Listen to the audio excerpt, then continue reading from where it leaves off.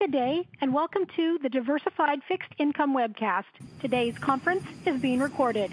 At this time, I would like to turn the conference over to Product Specialist, Sam Nussbaum. Please go ahead, sir. Good afternoon, and welcome to the DoubleLine Diversified Fixed Income webcast, hosted by Deputy CIO Jeffrey Sherman. The title of today's webcast is Managing Through the Interest Rate Volatility of 2023. Today's webcast will cover three of DoubleLine's mutual funds, the Low Duration Bond Fund, the Core Fixed Income Fund, and the Flexible Income Fund, along with one of our active ETFs, the DoubleLine Opportunistic Bond ETF, ticker symbol DBND. Some notable upcoming DoubleLine webcasts include on December 5th, the final Total Return webcast of 2023, hosted by DoubleLine CEO and CIO Jeffrey Gundlach, along with Portfolio Manager Andrew Hsu. And on January 9th, Jeffrey Gundlach will be hosting his annual Market Outlook titled Just Markets. To register for these webcasts and others, please visit our website at doubleline.com. Some notable DoubleLine thought leadership uh, include two of our video series, uh, DoubleLine Channel 11, hosted by Portfolio Manager Ken Shinoda, uh, along with PS Perspectives, hosted by the DoubleLine Product Specialist team. Both are available on doubleline.com and YouTube. And two of our podcasts, the Monday Morning Minutes podcast, hosted by portfolio managers Sam Lau and Jeffrey Sherman. Uh, excuse me, Jeffrey Mayberry, and the Sherman Show podcast, hosted by today's webcast host, Deputy CIO Jeffrey Sherman. Some standardized performance listed on the following slides for the funds that will be covered in today's webcast. Despite the interest rate volatility year to date through September 30th of 2023, relative performance across the DoubleLine fixed income asset allocation product suite has been strong. And I'll note here the DoubleLine low duration bond fund iShare class has outperformed its benchmark by 220 basis points year to date. The DoubleLine Flexible Income Fund iShare class has outperformed its benchmark by 189 basis points year to date. The DoubleLine Core Fixed Income Fund has outperformed its benchmark by 114 basis points year to date. And finally, the DoubleLine Opportunistic Bond ETF DBND has outperformed its benchmark by 106 basis points year to date. So, with that, let me turn the webcast over to Deputy CIO Jeffrey Sherman.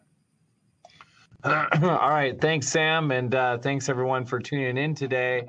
Uh, as we saw from the title, we're talking about managing through the interest rate volatility of 2023. And uh, what a difference uh, nine months later makes as we sit here in early October, uh, where there was ebullience in the market uh, during the first few weeks of January.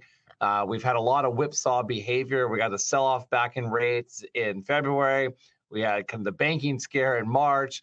Uh, we had this kind of grind sideways for a little bit in yields, and then we've had this resurgence in yields once again over the last six to eight weeks. And so uh, it's been uh, there's been really no reprieve within the bond market uh, to to date.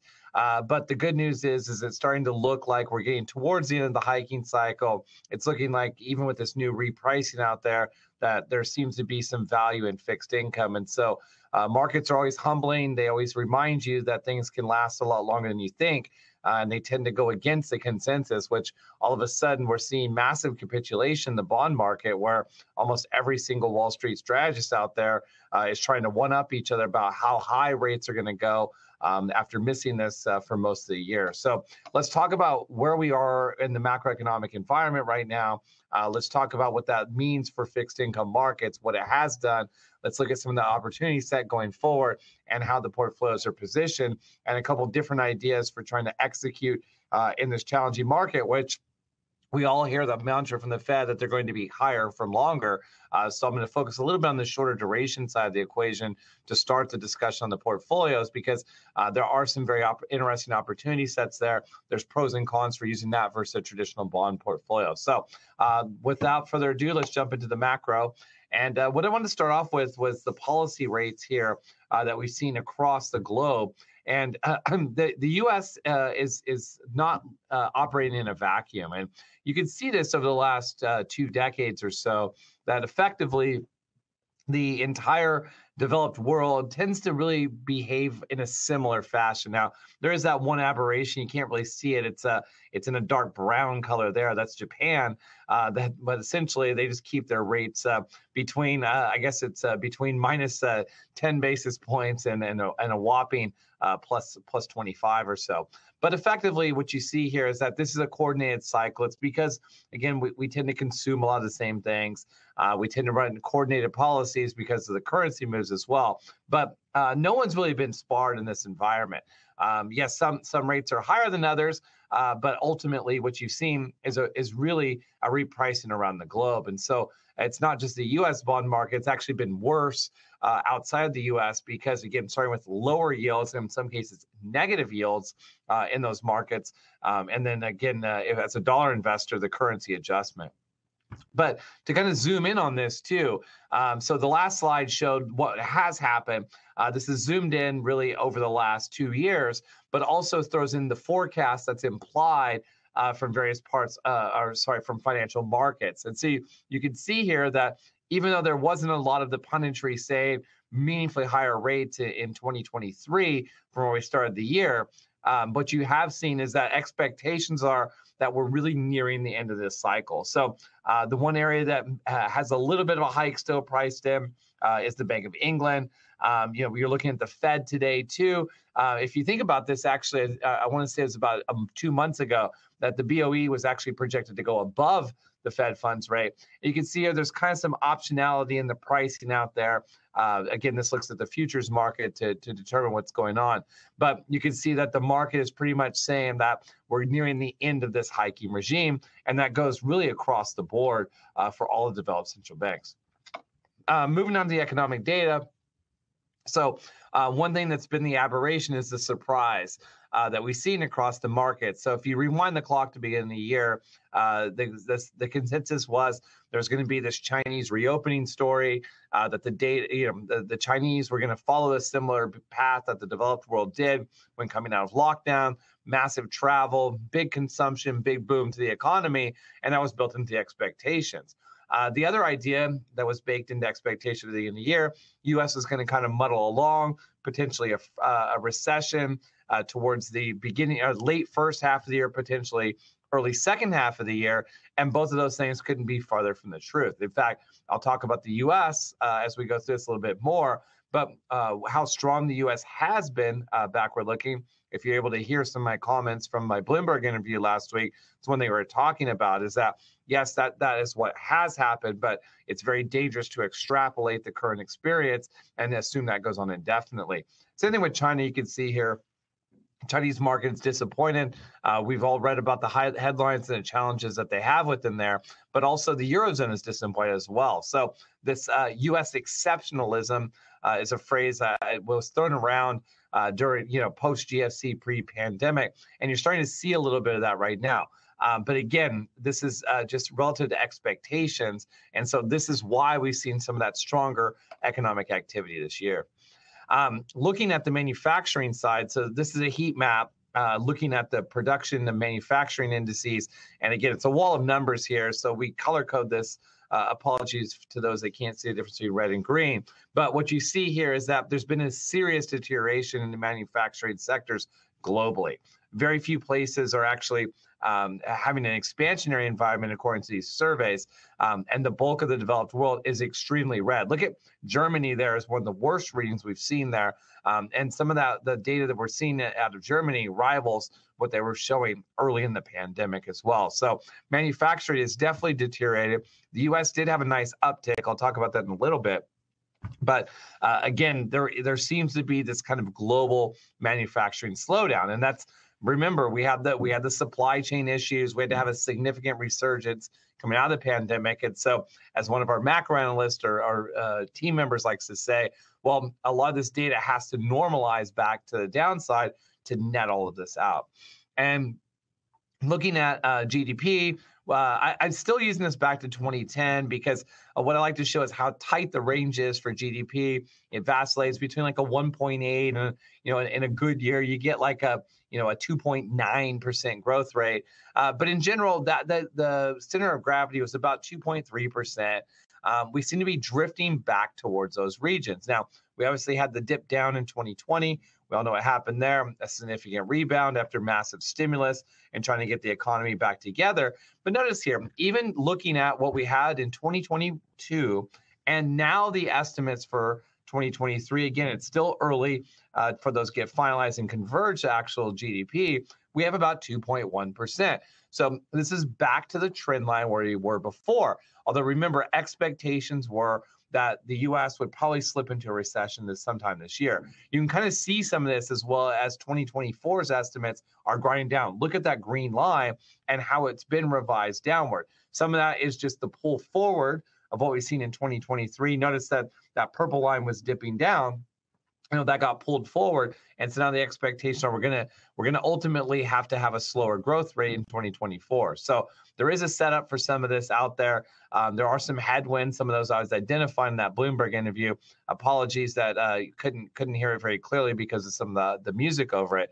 But in general what we're looking at here is the setup we see and i'll go through some of these charts on why some of this is starting to look like we're getting later parts of the cycle. Again later does not mean recession slowdown or, or, or decelerating growth does not mean recession, but some of that exceptionalism that we've seen uh, is indeed potentially behind us.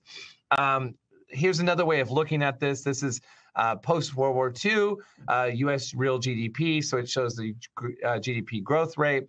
Because it's such a long time series on a logarithmic scale, that's why the scale looks weird like that. But what allows you to do is compare growth rates. And notice our trend line back, back to the financial crisis. So we were on this kind of upward sloping trajectory. Something happened during the GFC where it, it hit our potential growth rate. Some of that was probably because we let bad businesses go on. Again, we were mired in this significant, uh, what was looking like a global depression. Um, so we cut rates to zero. It slowed down the growth rate, right? Look at the slope of that line. Something changed at the GFC. And with all the talk about this US exceptionalism and everything that's going on, notice what we've done. We are back on the pre or post GFC pre pandemic trend. Nothing has really changed. Yes, there's been a dip down, there was a recovery since then, but we seem to be back on this trajectory here. And again, some of this is CBO estimates. Um, so the, I'm sorry, this is the IMF estimate. Sorry about that. Um, when thinking about overall growth rates, and so uh, for all this shock and awe that happened, supply shocks, the uh, you know trying to get back to some normalcy in the marketplace. Essentially, all we've done is be able to plug the gap, and I'll show how we've done that uh, as I get later in the slides. But we talk about interest rates. We talk about how it's supposed to put pressure on the overall markets, but notice here, uh, looking at something called the financial condition indices. And so Bloomberg puts one out. There's a few investment banks put these out as well. But it's just trying to talk about, well, is policy being accommodative or is it tighter? And they use a bunch of components. What's nice about Bloomberg, we can look through all the data. Uh, you can see the components uh, up top of what, what's driving this. But notice here that essentially this says that right now, if you look at what's going on in financial markets, remember, a lot of these are financial capital markets driven ideas, but it's the cost of financing in the marketplace, looking at spread levels. And essentially, what you find is that they're pretty accommodative in the marketplace. So, as stringent and tight as the Fed has tried to be, or that the Fed has been to date, it's being offset by some of these other areas. And some of that is due to as I mentioned, uh, we've had we've had a strong consumer over the first uh, you know nine months of the year. Uh, we've seen inflation be disinflationary and coming down. So a lot of these things have led into more accommodative conditions in the marketplace versus even with the uh, versus what the Fed is trying to achieve by being tighter as well. So uh, you can see in there the the one of the few things is kind of the move index. I'll talk about that uh, before we're done here. But there aren't a lot of things that are detracting from uh, this more accommodative environment from there. And so, uh, another way of looking at GDP, since we only get it infrequently, I know people are up in arms about the uh, the Atlanta Fed GDP now estimate for the qu- third quarter, which is still hovering above five percent. Um, if you look at uh, one of the competing models from the New York Fed, uh, it says kind of in the in the low two percent. I don't know. I, I think the truth's probably somewhere in the middle. But another way of looking at this is something called the Fed Weekly Economic Index. And so this is an amalgamation of a bunch of economic statistics. Uh, they come out uh, to try to help forecast GDP as well. And what you see here is that the relationship between the economic index and the GDP, it's not great. Uh, you know, again, it's a little more high frequency, but it tends to get some of the directionality correct uh, when looking at where we're going. And what it's saying right now today is that GDP probably is somewhere in the, in the kind of low 2% range.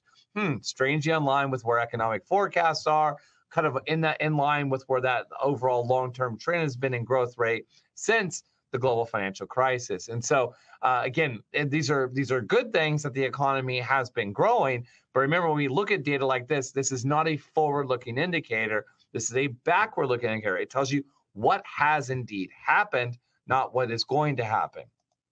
And so some of the more kind of uh, contemporaneous to slightly forward-looking indicators are things like manufacturing and well services. Uh, I showed you what the global manufacturing picture looks like. Uh, the ISM puts out data on both manufacturing as well as the services, and we know that services makes up the bulk of the U.S. economy as well. Uh, this includes things like leisure, dining out.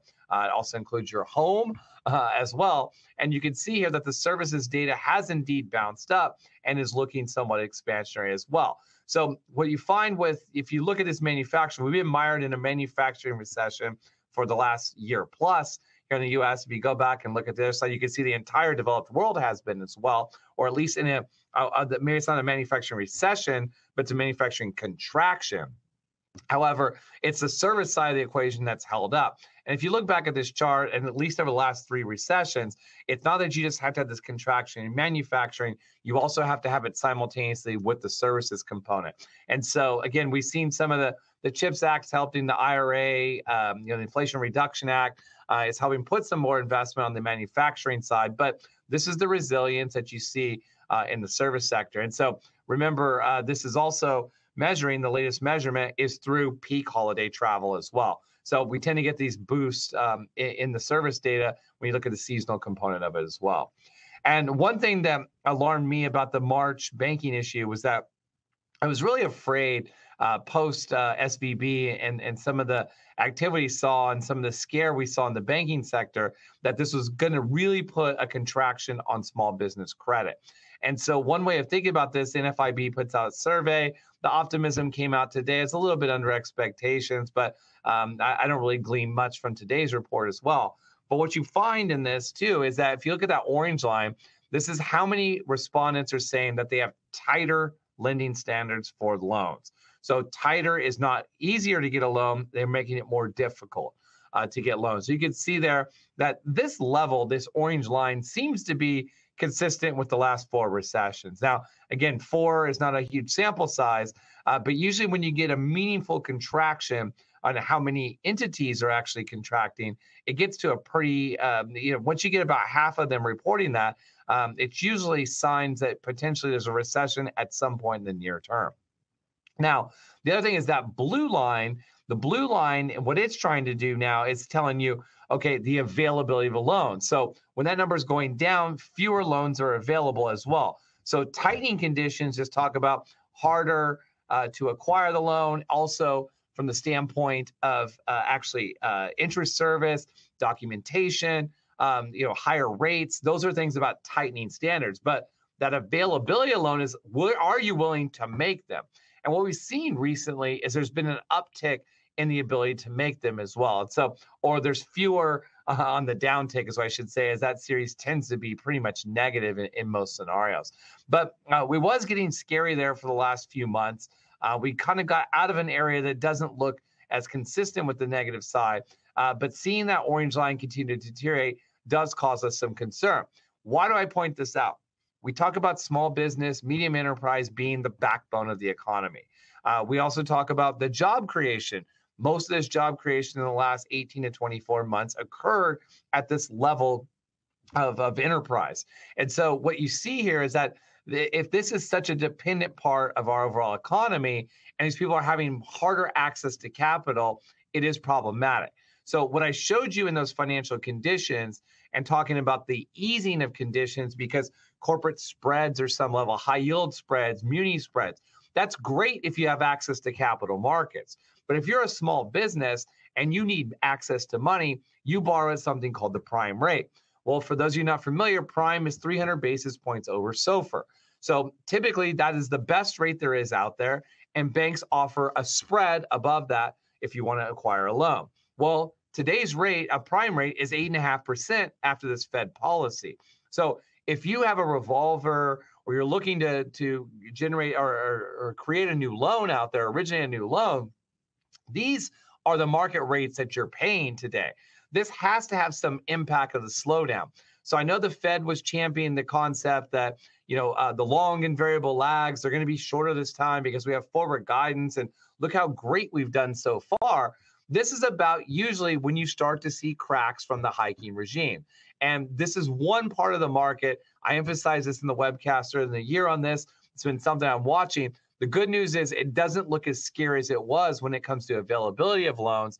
But if you think about the rate move we've seen, if uh, in the last eight weeks or so prior to uh, this this unfortunate new uh, invasion slash war, is you find that having these asset prices go down again it just renews the nervousness about the banks and i didn't include the you know kind of small bank index the kbw index out there uh, that shows the index performance of the banks.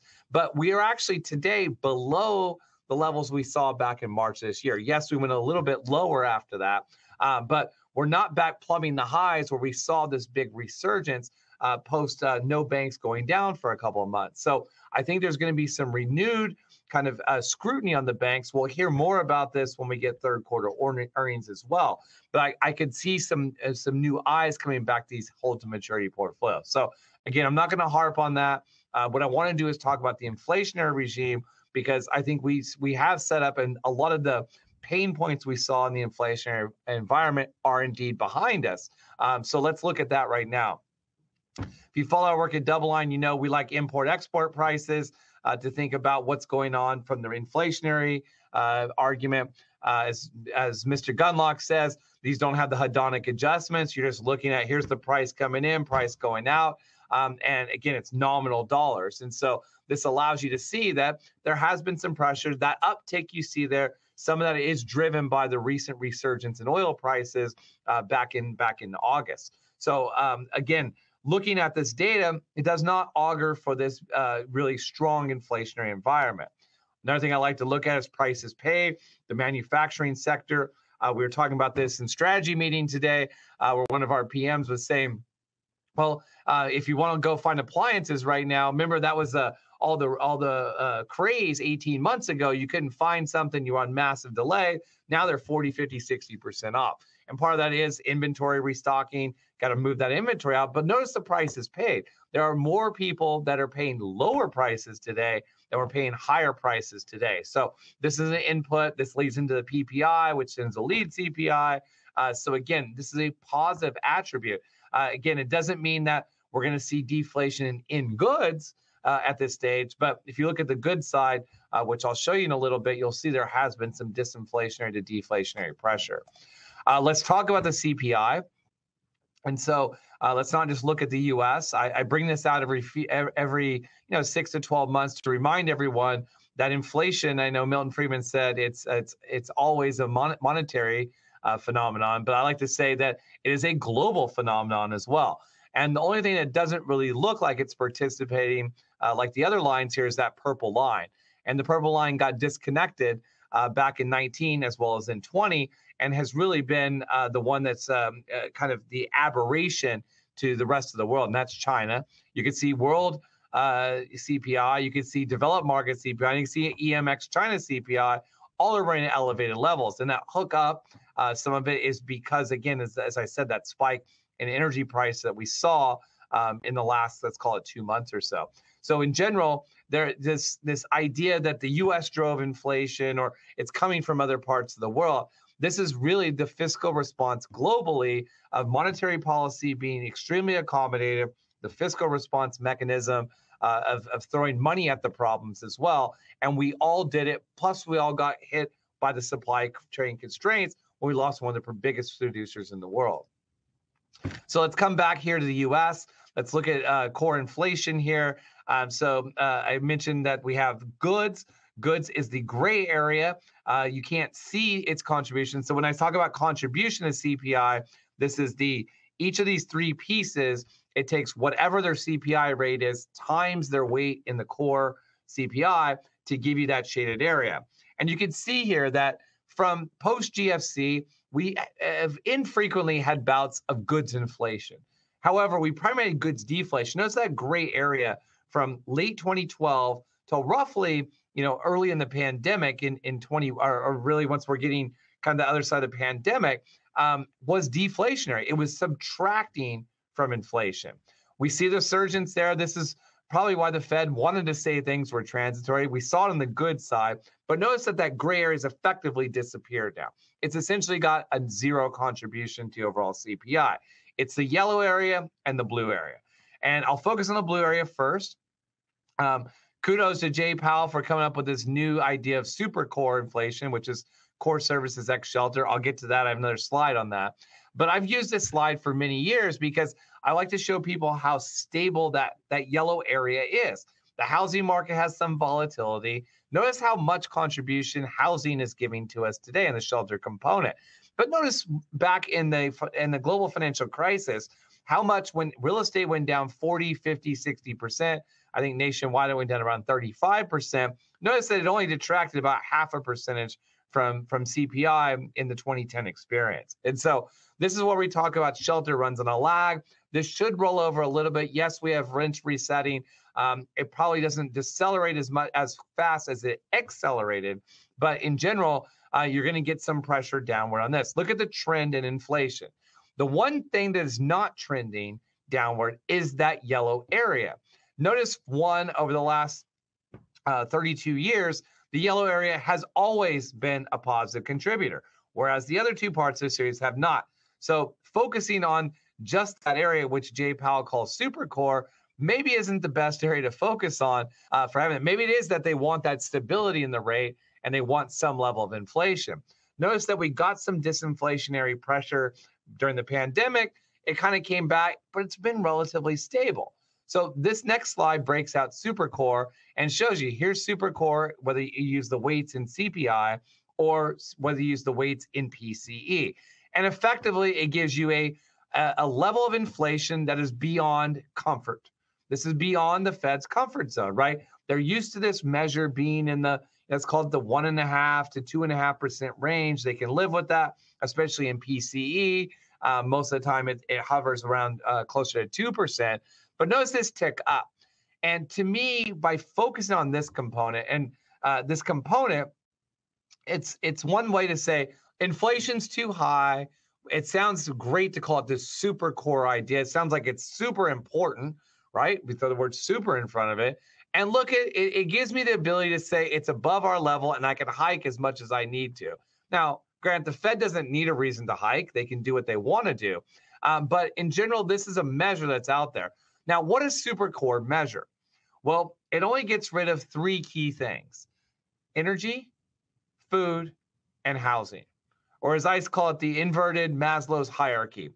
Only those three things we need to live, right? Or at least live a, a decent life is to have those three things. If you strip those out, that's what super core is.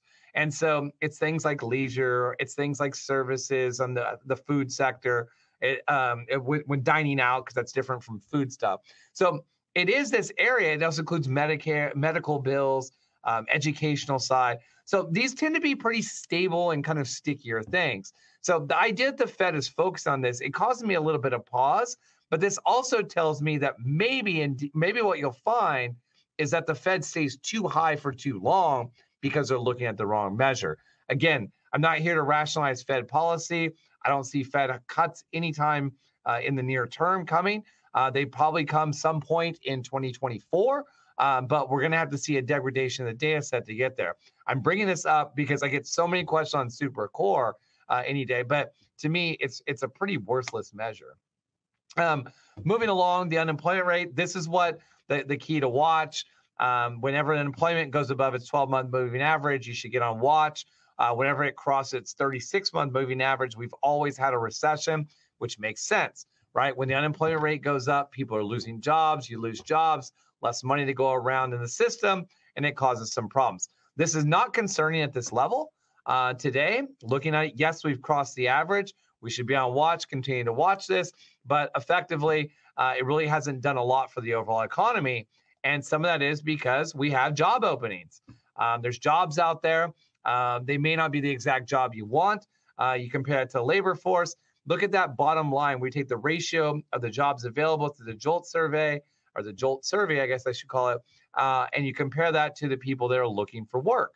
And you can see that that ratio hit two jobs available for every person looking for work uh, back kind of in peak early 2022.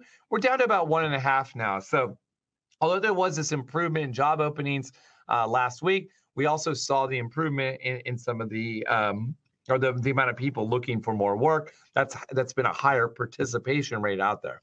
So you have this imbalance. That's another reason the Fed has been focused on uh, keeping these higher for longer.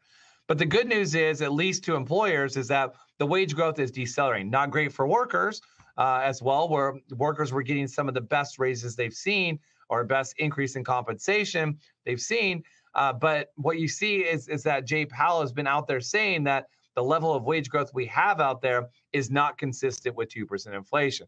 I don't know what level of wage growth is consistent there, but that that. So back to wage growth, we talked about the consistency there. Um, the savings rate has diminished. So we saw the big spike in savings rates. Uh, this was due to a lot of the stimulus that came there, came through. We hear about this concept of excess savings um, that was helping drive growth here. But now people are back to savings rates that are really consistent with kind of the more bullish scenarios, right? Look at when you had savings rates in these levels. That was kind of in the aughts when everyone was buying housing, uh, spending money, driving the economy. Uh, the savings rates uh, are below those kind of pre-pandemic levels, and so um, you know, again, it's not that concerning, but it's not something that's a that's a strong positive. Um, what's also not a strong positive is the explosion of the U.S. budget deficit. And so uh, this is something that's been on people's minds as of late. When you think about uh, what is what's happened here, look at that. We had the response mechanism during the pandemic. Obviously, it was a, a big crisis. It looked like we're starting to recover. Now, all of a sudden, look at what we're doing. We're expanding the deficit at seven percent of GDP right now. Seven percent of GDP to grow. And again, these are nominal dollars um, you know, we're talking about a real growth rate that's estimated to be 2.1%. Slap inflation on that, maybe it's 5%, 5.5%. It says that we've essentially borrowed more than we've grown this year. So again, it's a it's a very kind of challenging environment. And just think about what happens if we tip over into another recession. It's going to be quite strong. So um, there, there's a big problem uh, with Washington. We all know it's continuing, but at some point we're going to have to pay the piper one way or the other. Um, lastly, uh, the Fed was launching or was running one of the biggest hedge funds in the world, uh, where they were essentially they bought assets, uh, they financed at a very low rate. All of a sudden, they've had to change that dynamic, and so there is something that changed. The methodology methodology did change in 2022, and so it's cumulative from that point on. But it's pretty amazing to show how much money that the Fed has lost right? This this is essentially what they have to go back and they're you know they're they're paying uh, the overnight rates, but their asset pool yields like two percent, two and a half percent. So they have this negative arb that continues to erode money. So um, it, again, it was this nice kind of uh, I'll call it the the the carry trade that they had for so long, and now because of their rate policy, and again you can see it's consistent with when they started hiking rates. It's it's really driven that down. So let's talk about the markets real quick before we jump into the funds. So uh, what's here is, is four different asset class type of vol- uh, volatility measures. Uh, the red, green, and black are on the one axis. That's the VIX, the FX vol, as well as high yield credit spreads. And then there's the blue line. The blue line is the MOVE index. And what's important about the MOVE index is that it's bond volatility. So it's the VIX equivalent of the bond market or the rates market. And so notice how elevated volatility has been in rates, right? You can see that uh, pre pre pandemic, uh, we had a volatility level that was probably somewhere between 40 to 60 percent of today's levels. This is what's happened to the bond market. This is what happens when you get whipsaw behavior back and forth, uh, and it leads to a lack of confidence in markets. If this type of volatility was going on in the equity markets, people would be panicked. Um, you look at the the calendar year performance. We've we've updated this. This is going back all, all the history of the of the Bloomberg Agg. And what you see here is that 2023 now is a, on pace to one be the fourth negative year in a row in the bond market. Secondly, uh, we're on a bad trajectory once again after starting off so strong uh, in the first month of the year. And more importantly, is that you know we're getting to these levels where essentially now yield levels should be enough to help insulate with some of the uh, price moves we're seeing out there. So uh, again, another tough year for traditional U.S. aggregate that has a lot of interest rate sensitivity. Um, looking at the third quarter, just kind of reviewing it, taking major asset class into account, you can see there's a lot of negative numbers. Uh, the negative numbers, when I look at treasuries, agency MBS, CMO, agency CMBS, um, IG corporates, um, as well as EMFI sovereigns, um, those are essentially longer duration asset class. So fixed rate, they have duration. Duration was your enemy in the third quarter. Look at what did well floating rate assets, things like risky credit, uh, CLO triple Bs, uh, which we do own a, a, fair amount of in some of the funds that I'm going to cover today. Uh, things that are down in the capital structure in the RMBS markets. And notice here there's a non agency CMBS market, uh, those tend to be a little bit longer duration assets as well. So they didn't benefit that some of the other credit sectors did. So um, it's a tale of two worlds.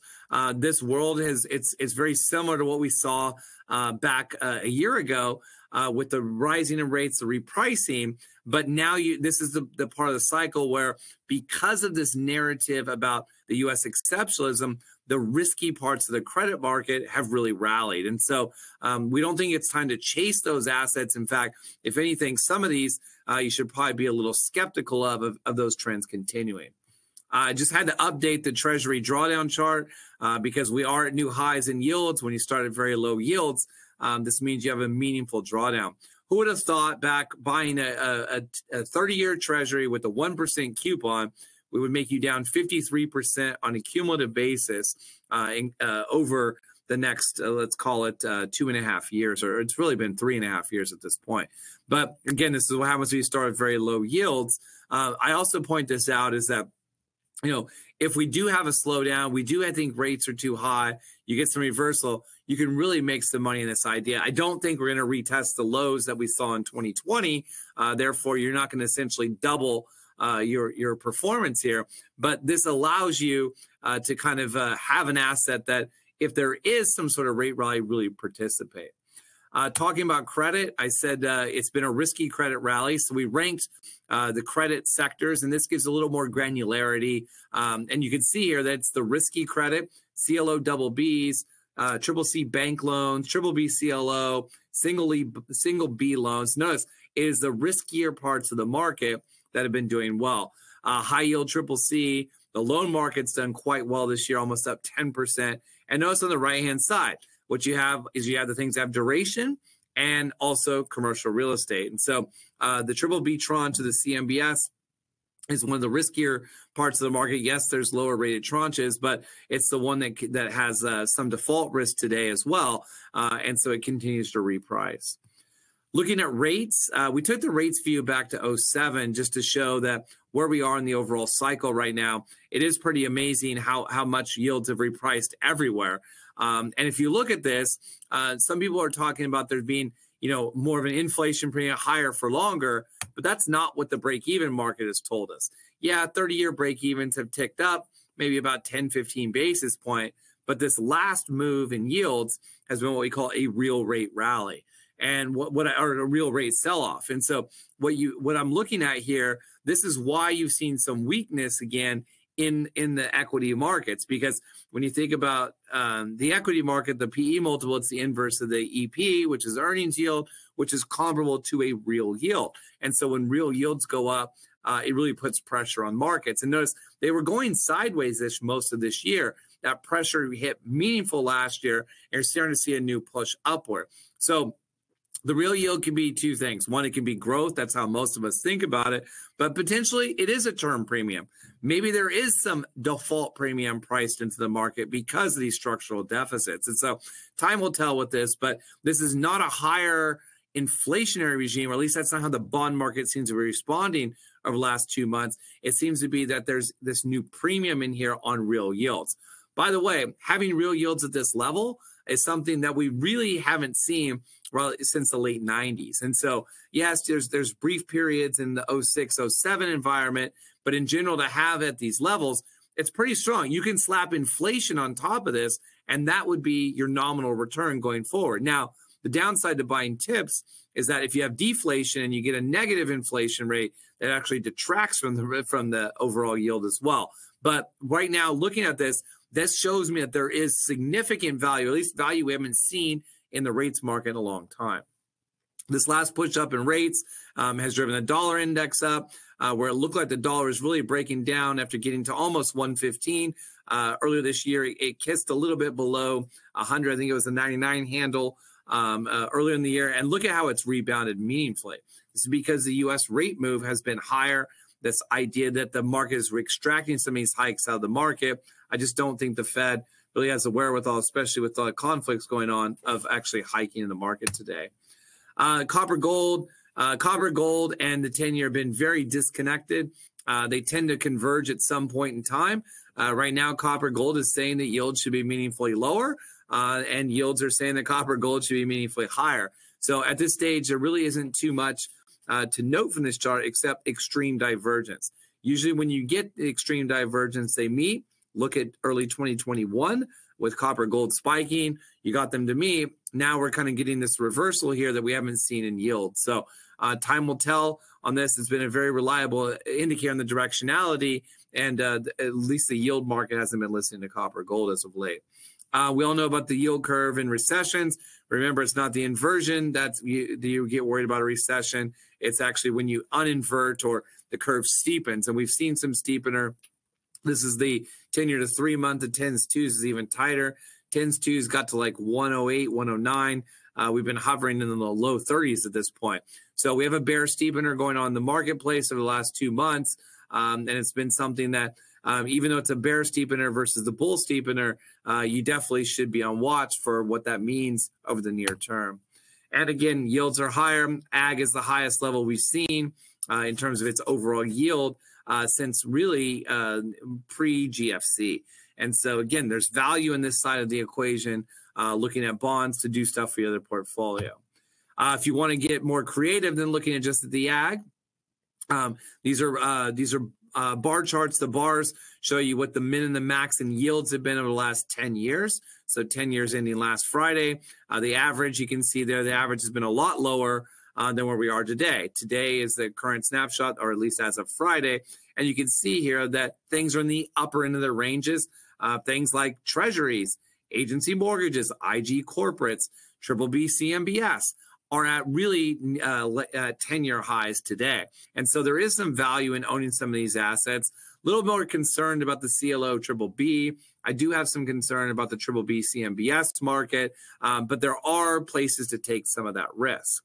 Um, low quality bonds, you know, everybody focuses on high yield or just loans in aggregate, but look at where the yields are. Even after the performance I showed you, triple C high yield still yields 15.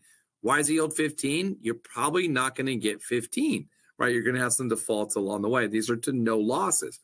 Look at triple C bank loans because they're floating in nature They've uh, again, there's probably a little bit more default risk in some of these names, 16.5%. Again, don't think you get 16%. Look at corporate triple C's and EMFI on the far right hand side, 16. But you don't have to go there. There's eights, there's nines, there's tens in higher quality assets on this. So what I wanted to really show here was that there are ways of taking credit bets out there that maybe aren't run of the mill. Maybe they're not readily accessible through an ETF. But if you're going to take risk out there in the markets, there is a calculated way of doing so. And another way of thinking about that is the price of the assets. And uh, we've illustrated this earlier in the year, but just look how low some of these bond prices are. And I point this out because if you buy a bond, your, your best case scenario is that you get par back at maturity. Maybe it's callable, you get 101 or something like that. But in general, par at maturity is what you're looking for. And so if you can buy an asset at 80 cents on the dollar, like EMFI sovereigns, and they don't default on you, there's 20 points of upside there. One. Secondly, if spreads tighten in, there's the ability to trade some of this as well. So prices can indeed go up. Uh, you insulate yourself against some losses out there, but more importantly, give yourself the ability to trade around if need be. So let's talk about what this means for portfolios today. Hopefully, you found the the you know the idea that there is some yield out there pretty compelling today. Now, there's different ways to execute on it. For those that have been concerned about the rate environment, that the Fed's going to be higher for longer, um, one thing we've offered here at DoubleLine for a long time is our low duration fund. And so, again, the low duration fund has done quite well, as Sam pointed out at the top of the show, because it has less interest rate sensitivity uh, than, than a traditional bond fund. And notice if you look at the yield to maturity over there, how we drive it, there's yield coming from all kinds of points of the portfolio. Uh, we're getting it at a 6.7% yield to maturity today. That yield to maturity, it consists of uh, nine different sectors of the overall bond market uh, over there. Notice there, it's a credit heavy portfolio. 70% sits in credit. So there's not a lot of risk offset in this portfolio because it's high quality credit. Notice 61% of this portfolio is triple A rated. Okay. So part of that is the government uh, sleeve. That's the 23%. But the CLO, 16% is all in the AAA part of the market. Some of our CMBS is AAA rated. We have some non-agency RMBS AAA rated. So there are pockets of the of the credit markets that offer value today. Look at 6.7% yield. I don't have to take duration risk. And notice my below investment grade bucket, right? I got 4% in double Bs. Most of those are bank loans, right? Some of them are crossover names, but most of those sit in that area. Yeah, there's a little bit uh, in the ABS market as well. I got some unrated securities. That's because the, they don't get paid. We don't pay for ratings anymore in the securitized market after what the ratings agencies did. But you can see here that this is a high quality portfolio it clips coupon, it grinds along, and you have less interest rate sensitivity. So we've heard a lot about the T bill trade out there. Why do I do anything? Well, I would, uh, as a bond investor, I like 5.5 on my bills. It's a little lower today. It's probably 540 right now, uh, given some of the rate move we've seen. But it's 540. I can pick up 130 by sitting out here and looking at something like this type of portfolio. So again, the volatility has been quite low. Notice positions. Uh, I, I do get some pushback on the CMBS position at 14%. This is extremely high quality. This is short duration assets. A lot of this paper is indeed AAA rated, and we believe it to be AAA rated. So again, with a high quality portfolio, um, you know, not not a lot of uh, mark to market. Or there is some mark to market risk, not a lot of default risk in there. Notice the duration at 1.2 year. Now, if you want to keep a similar type of duration, it's a little bit longer. We have a 1.7 year duration here, but you want to take some risk, and you think that the you think the credit markets are still pretty ripe for opportunity. Notice you can step your yield up. So you can get a 9.3% yield to maturity. Maybe there's a little bit of default in here. The CLO bucket here at 20% is not AAA. Uh, a lot of this sits in the triple B bucket. We do have a smattering cost of capital structure, but primary is in that triple B side of the equation. Uh, our CMBS is going to be a little riskier. All of these are going to be a little bit riskier today. Uh, heavy heavy allocation to bank loans and you saw in the low duration. This is more run of the mill bank loan, like a, a single B type we have high yield bonds. We have EMD in here as well.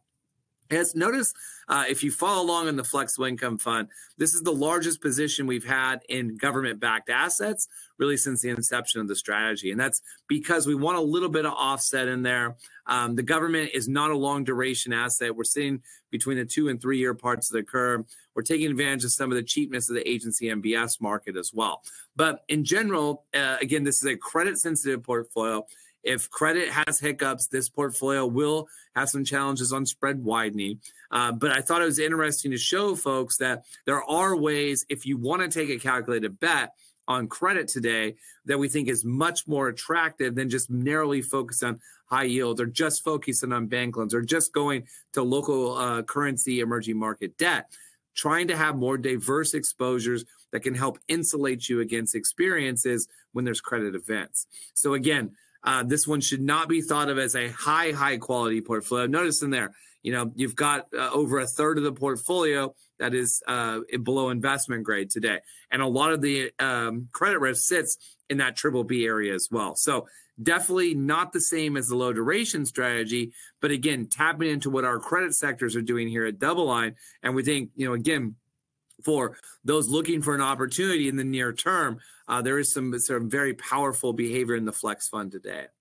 Uh, traditional fixed income, which is our core fixed income strategy, this is the thing we compare against the Barclays US aggregate.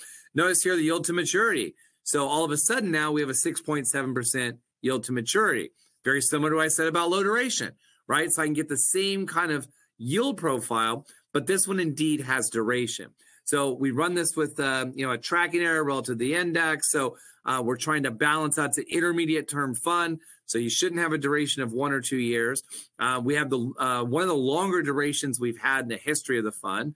Um, but what we've been doing is lengthening the duration. We did this late last year, part of early this year. We kind of stopped that game plan, um, you know, as we went into the the later spring and, and summer months as we thought the economy was looking much better, that we shouldn't be adding more duration. Let's keep the credit we have.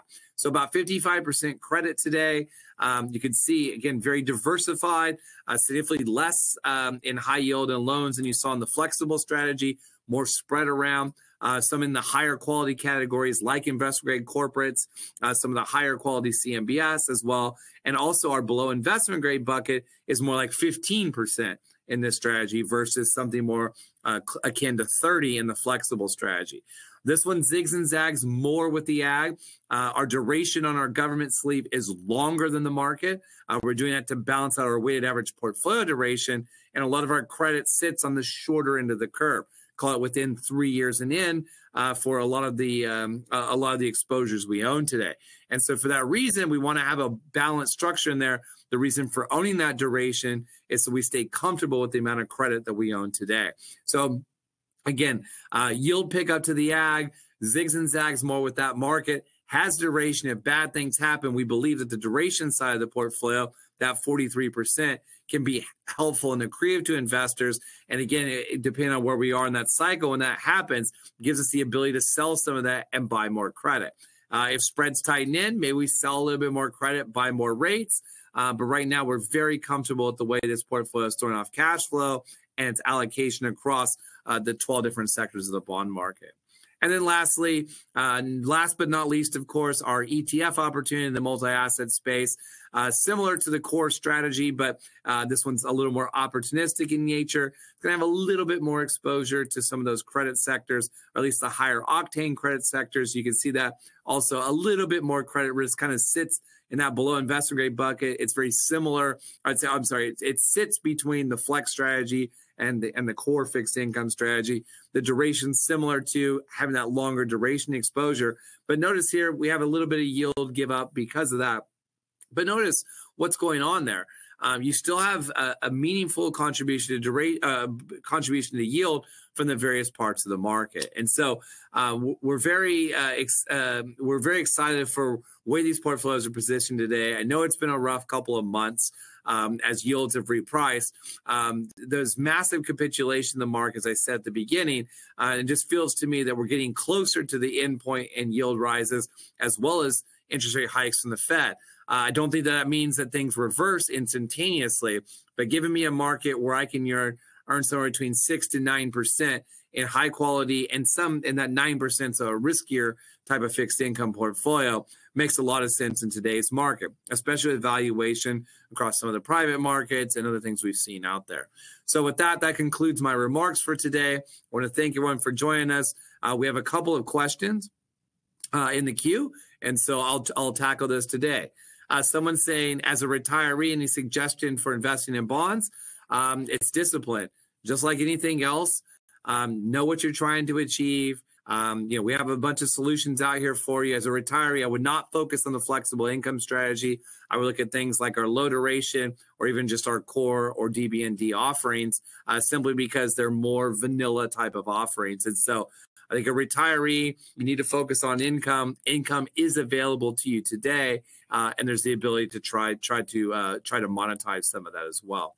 Uh, next is Sam Nussbaum. My great uncle was Sam Nussbaum from Deal, New Jersey. So he's branches from Frankfurt in the late 80s. So Mark Nussbaum, I want to give you a shout out to Sam Nussbaum. We'll have Sam get in touch with you. So we have your details. So good to hear about that. Let's keep the Nussbaum family uh, family going here. Um, next question here is Does China's CPI include residential real estate in the index? The answer is I don't know. We don't trust any data that comes out of there. So I, I, think that it's very difficult to look at data. Remember, when Chinese data was not looking good, they discontinued the series. So a tough area to look at. So again, uh, I'm not really sure what's in there. I don't trust a lot of it. Um, someone saying, how much emphasis do you place on geopolitical dynamics and separate U.S. political alternatives? Um, Trump, Biden, and others. Uh, look, geopolitical is going to dominate right now. There's no doubt. Yes, we have dysfunction in Congress. Yeah, we just ousted the Speaker of the House by his own party. That that's kind of uh, um, somewhat impressive, I believe. Um, yes, it's going to get worse before it gets better. RFK is running as a third party candidate now. I mean, it feels like peak uh, uh, peak polarization within our geo our, our own political system.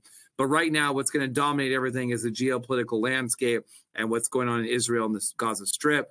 It's unfortunate what's happened so far, and it's unfortunate the things that continue on right now. And so I think that's going to dominate uh, markets for the time being. And uh, don't worry, we'll have our, our, our chance in the sun with our dysfunction when it comes to the political season next year. So uh, I don't look forward to it. It's a headache that, that most of us don't need, but it is something that we all have to deal with. Uh, can you talk about the recent spike in oil prices? Has it been demand driven or announced supply cuts? Uh, it's the latter. It's the supply cuts that have been driving most of it. Um, and then there's been this kind of resurgence in the U.S. demand story, although it is seasonal in nature as again the uh, the the travel season as you get later into the year. If you look at forward-looking ticket demand from airlines, you're not seeing it. So to me, it is a supply story.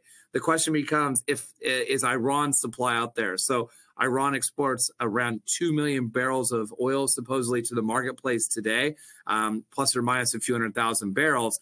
And so, if there is some kind of sanctions there, finds out their involvement, or they get involved, uh, that could cause more problems. Oil prices going higher will not make the Fed hike. Um, it's not going to do that because oil prices going higher, it hits the end consumer. The end consumer sees that as inflation because that is where they judge inflation is the price at the pump. This is deflationary in the short term because your spending goes to oil and consumption of energy versus uh, other areas. Uh, the next person wrote me a missive, a lot of words in there that I, I will have to get back to you on, on that one. Um, munis and risk are Citi's doom loop. Uh, not sure what that means either. All right. Are the cash positions in the mattresses or T bills or other? Uh, we do not store cash in mattresses here at DoubleLine. They're either in sweep accounts or in extremely short-term T bills, uh, and we just call them cash because uh, of their of their nature. So you'll see cash. Some of it is actual cash. It sits in STIF accounts, or we call money market funds for spending, and then sometimes that sits in like an accrual bucket as well. So uh, thanks for the uh, plumbing question. Um, and with that, that's all the questions I have for today. Uh, to the missive, we'll we'll get back to you on that one. Uh, if the Munis and Risk Cities Doom Loop wants to uh, send us an email, send it to fundinfo at doubleline.com. Thanks everyone for tuning in today. Uh, thanks for your support of DoubleLine. We're here to answer any questions. We wish you success as we get to the end of this year. Um, starting to feel like the bond market's offering some good opportunities. We thought that all throughout the year. But the good news is with uh, with bonds that they're high quality, they do pay you back at par when it's time for maturity. So they do serve as a ballast in the portfolio. So thanks again, everyone. It's into my webcast uh, for the year. I'll talk to you next year on the webcast. And don't forget to catch us on our, our various podcasts that we put out there. And more importantly, if you want to watch this stuff, go to the youtube.com backslash double line capital or youtube.com backslash double line funds.